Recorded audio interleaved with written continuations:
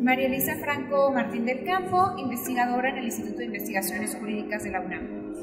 Yo soy Magdalena Cervantes, alcaide, eh, trabajo en el Observatorio del Sistema Interamericano de Derechos Humanos, que tiene sede en el Instituto de Investigaciones Jurídicas en la UNAM.